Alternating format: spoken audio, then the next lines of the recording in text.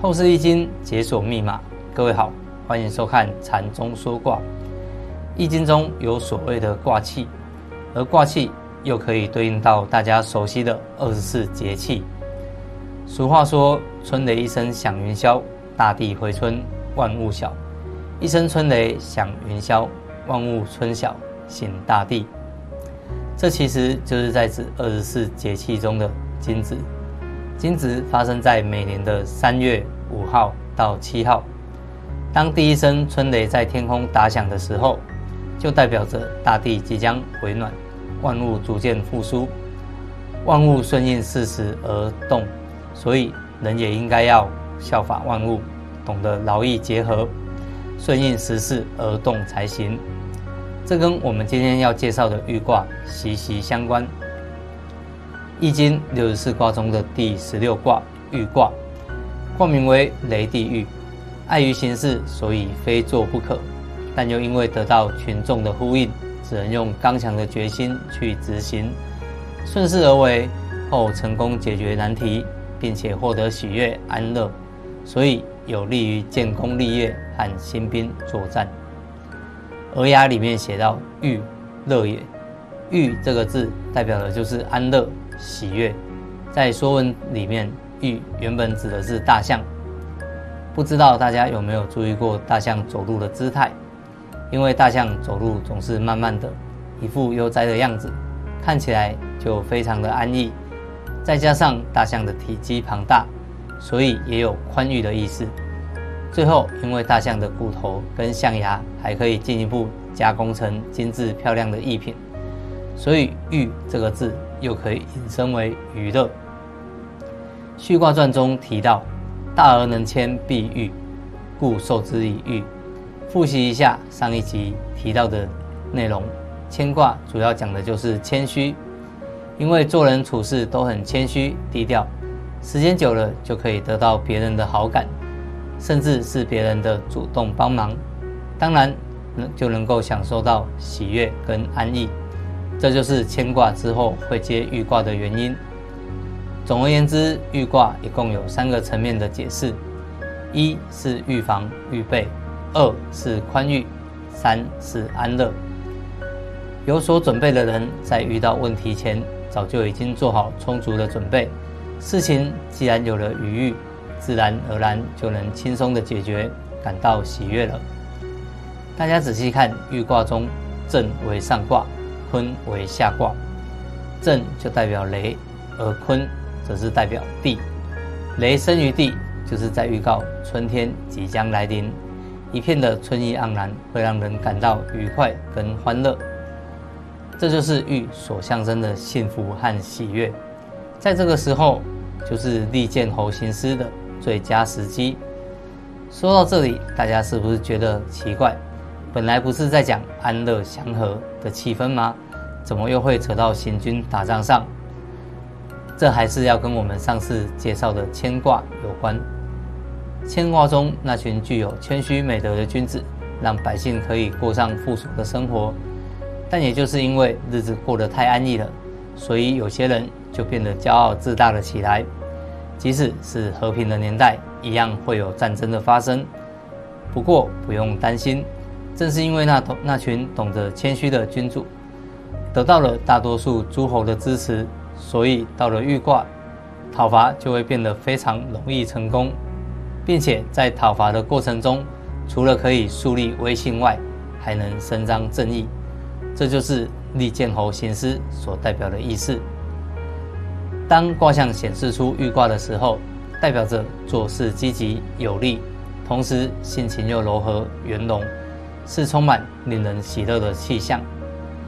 玉卦的核心思想绝对是安逸快乐，但我们前面也说过，它还有预备、预防的意思。生于忧患，死于安乐，这句话其实就可以说明这只卦。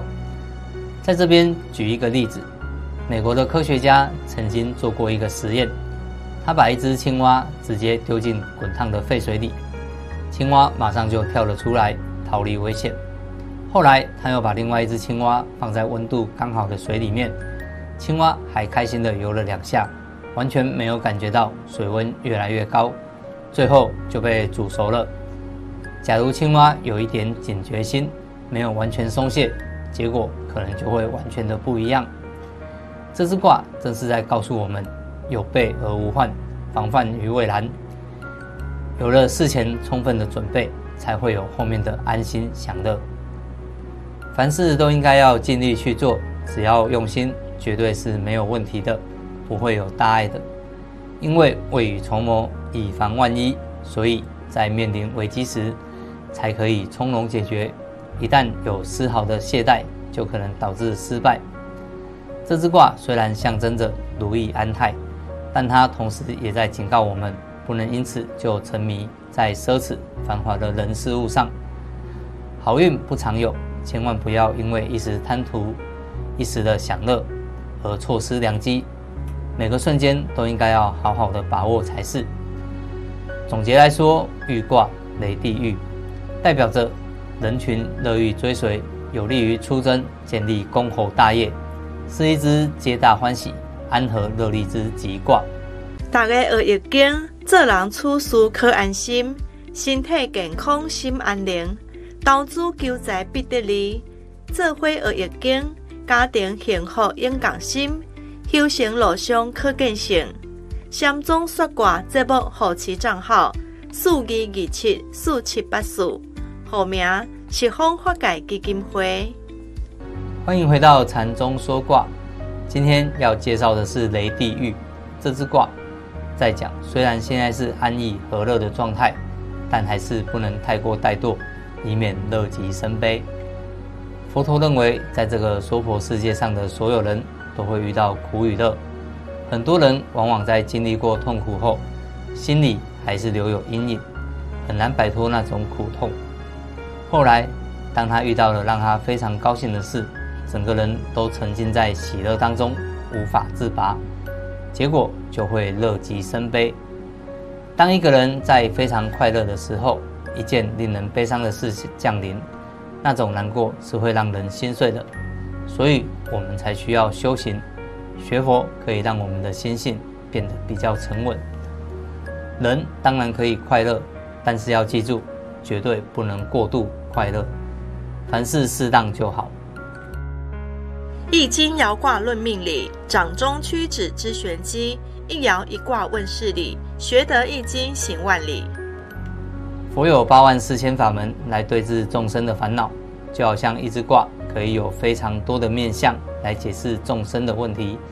在解释后天八卦的卦象之前，我们要先了解天干地支五行以及六亲。请看图卡的介绍。天干与地支，十天干为甲、乙、丙、丁、戊、己、庚、辛、壬、癸；十二地支为子、丑、寅、卯、辰、巳、午、未、申、酉、戌、亥。五行起源于金、木、水、火、土，宇宙万物都是由这五种基本物质的运行和变化所构成。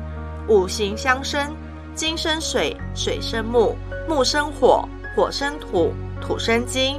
五行相克，金克木，木克土，土克水，水克火，火克金。六亲生克图，一卦有六爻，分排六亲。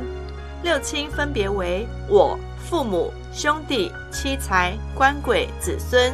具体分辨方法：生我者父母。我生者子孙，克我者官鬼，我克者妻财，比合者兄弟。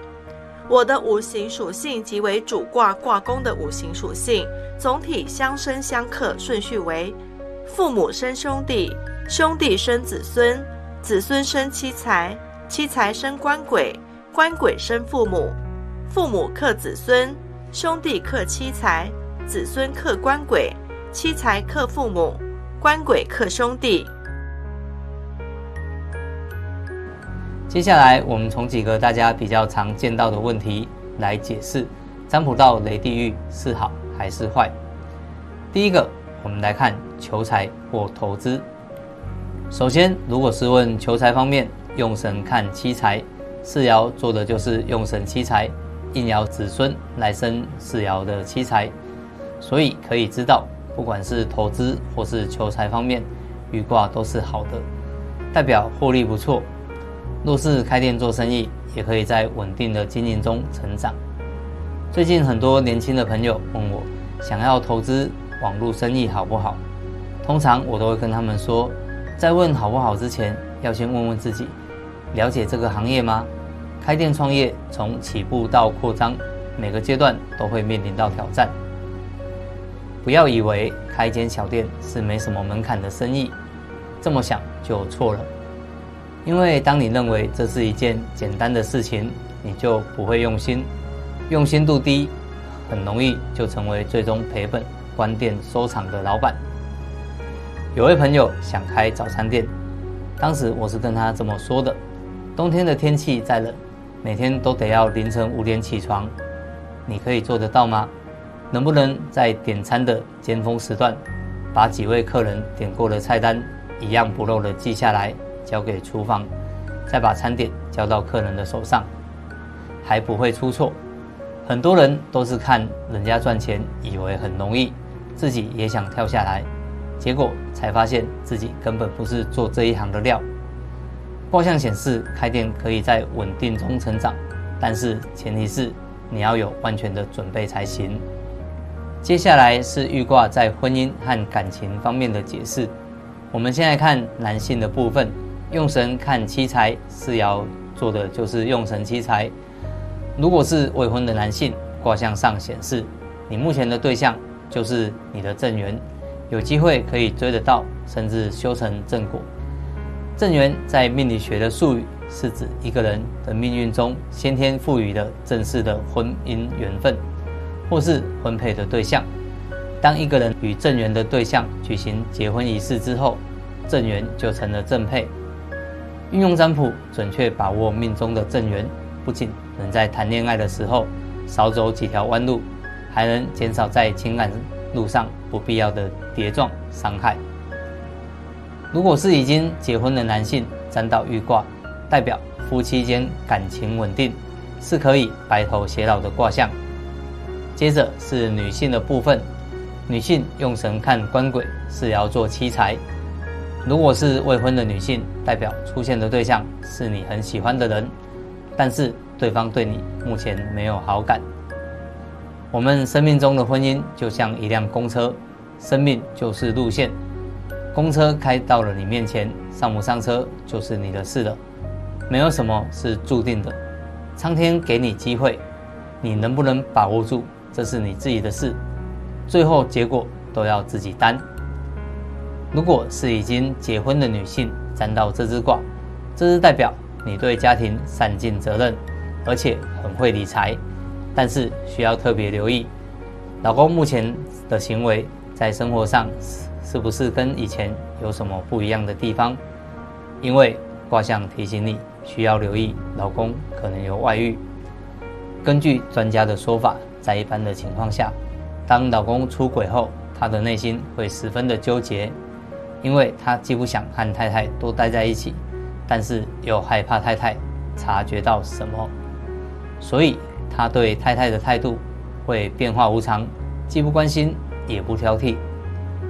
如果男人出轨了，难免会减少对家庭的关心，这时就需要引起你的注意了。如果如何判断老公是否有外遇？其实只要透过细节和表现，女人就能轻而易举地找到出轨的蛛丝马迹。但是切记不要在冲动的情绪下盲目的做出决定，双方要冷静沟通后再理智的解决问题。接着，如果是问身体健康的部分，用神看的是官鬼，是要做七财。因为七财在疾病占卜上主饮食的问题，所以在疾病上来说，你需要注意的是饮食的均衡。营养是健康的根本，食物是营养的来源，均衡饮食是维持健康的首要原则。均衡的饮食就是每天摄取的食物足够提供热量及各种必需的营养素，能维持身体机能和长期的健康状态。更有助预防慢性疾病，所以生病了，除了看医生吃药之外，也要想一想是不是你的饮食出现了问题。在询问过医生后，调整目前的饮食状态，再配合医师用药，相信可以改善你的健康。再来以学业或考试来说，用神看的是父母是要做七财，代表目前的学业成绩不理想。在学习的阶段，很多家长还是会用分数来断定孩子的成就。其实我常常跟家长建议，孩子的成绩不理想时，不要急着打骂责备，也许是孩子读书用错了方法，不是不努力。书中自有颜如玉，书中自有。黄金屋，我们从小到大听了无数遍，我们的知识都是从书上学来的，也知道读书是改变自己、提高自己的一个很重要的方法。在这里提供大家几个读书的小方法，让读书事半功倍。比方说，选择适合自己的书，阅读时要做好笔记，让读书成为你的一种习惯，学会分享，还有读书时。需要先进。接下来来解释玉卦在工作上用神看官鬼，四爻做七财，代表最近工作认真，而且待遇跟福利都不错，是一份可以考虑长期且稳定的工作。建议你不妨在工作上多运用人际关系，可以争取到更多的机会，说不定还会为你带来意想不到的好运。最近有个朋友跟我说。他不贪心，只要有个稳定的工作，不要压力太大，薪水够用，平常可以做一些自己的事情，一年出国个一两次，这样就够了。这是很多人认为的小确幸，这样的愿望应该很容易吧？有位佛教界的大师说，世界上没有所谓不贪心的愿望，只求稳定的小日子，反而才是最难的愿望。这句话很有深度，大家不妨深思。最后来看玉卦在官司上的解释：四爻做七财，因为四爻是财爻，生官司用神官鬼，代表这个官司短期内很难结束，但是可以跟对方朝着和解的方向努力看看。这是财源有损耗的卦象。举个例子，有位先生在路上跟人发生了擦撞，他的责任是比较大的，对方人也很善良，看他没有什么钱。愿意以少少的钱跟他和解，不过这位先生脾气太拗了，硬是不愿意和解，最后只好法院见了。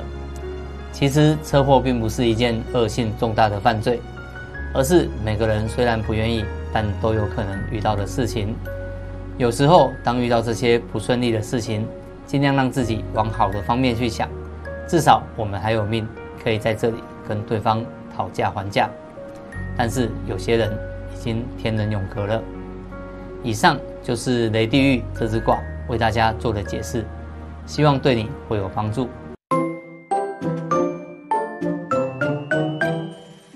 各位好，欢迎收看《一雕之美》，为您介绍来宾阿华师傅。各位家人好，我们又见面喽。师傅，我们今天来介绍观音的雕像，好不好？好。看哦，一样都是观音。嗯。那为什么它呈现的方式会不一样？这一尊它的雕法是属于这一尊呢，是因为它以它的材料去设计它，来做这个来雕这个观音它的身的法相出来。嗯哼，那这个雕法它是属于独一无二的。怎么说？因为它这个雕这个这尊的以它的木材的大小，还有它的法开法相的时候，你若是要再重复再做第二尊是不可能的。那我一样的木木材，一样的师傅。一样的刀具也不行吗？不行，没有办法，因为一刀雕，尤其像这种一刀雕的方式，它在雕的时候，它是每一刀下去就是定型的。那你在真的一个艺术家，他要做一雕，每一个刀都是跟前一尊做的一模一一样，那是不可能。不是一种。模啊印出来，不可能搞不可能不。你说一刀雕，一刀雕，它的每一刀都要很精细，对不对？很精细，一般来讲不能错一刀，错了一刀就很麻烦了。那怎么办？能补吗？不能补啊，不能不能像我们的泥泥塑一样啊，雕塑一样，哎，不高，或者得就这下去得，那是不可能，不行。对，它的下刀是非常的精准，非常非常的精准，才可以。因为所以说一刀雕，它在于它的功法。在于他的经验，哦，把这个东西可以把它呈现出来，那是完全不一样的做法。通常都是先完成一个初步的模型嘛，对最后再完成脸部法对相的部分，是不是？一般来讲是把全部的出血珠杯先锯好了，修饰好了，一刀雕一刀雕凿凿凿好了以后，那最后面的关卡就是把这个脸部的修饰，这是最后面的方法，脸部修饰最难的地方在哪里？在他眼神，在他的眼眼神，对，菩萨的眼神也。菩萨的眼神是最后面最难修饰的地方，况且它也是最细腻的地方。嗯，它那万一一个不小心，哪个地方裂了，哪个地方把刀下刀下错了，那可能这尊的这尊的艺术品可能都将近破销了。就跟他原先的想法不一样了。对，那会不一样的，这是非常的一个非常非常的小心，况且在开脸的时候的先见，一定要，尤其是观音，一定要沉淀下来，嗯，哎，慢慢沉淀下来，所以他的专心度要很够哦，要很不能有一点点的杂念。一边的杂念，这差很多。尤其像刚才我们呃也是已经阐述很多的的一个作品，那最难的去阐述的就是观音他的法相，法相的部分是最难对呀、的。庄严故够吗？慈祥故够吗？哦，这个是完全出自于雕刻师傅他当下的心境。当下的心境。对对对那。他他会在一天，比如说一次之内就完成法相的部分吗？还是他会分梯次？不一定因为今天的心情跟明天嗯一定不一样。会有些师傅，他真正一个好师傅，哦他若是在下刀的时候，心境若是很复杂的时候，他可能会刀子会就放下了。哦，就今天先暂停。对，先暂停，先暂停哎，就先这个先放着，我领来等等着另外有一天，可能他的心情方面啊比较沉淀以后，再马上把它完成。再继续完成。对。对对对对所以，通常这种一刀雕的作品，这种呃艺术家的作品，一件都要好久好久，对不对？对它虽然粗胚有些粗胚他做好以后，但细部要修饰的时候，它并不会说一气呵成做好，没有办法。是我们今天介绍的这个，就是一刀雕的观音，对观音的部分。对对是对。那我们下次是不是可以介绍另外一种不同的雕法？可以啊，可以啊。好 OK，哎期待。好，一雕之美，我们下次再见喽。谢谢。